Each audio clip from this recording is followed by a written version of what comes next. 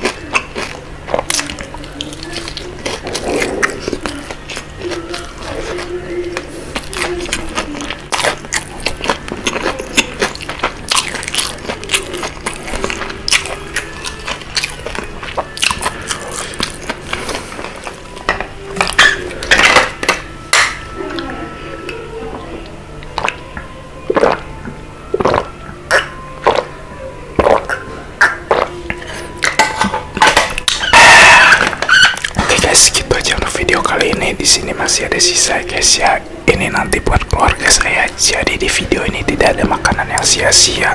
Nah, kalau kalian suka video ini, kalian boleh like, komen, dan juga subscribe. Sampai ketemu di video berikutnya. Bye-bye.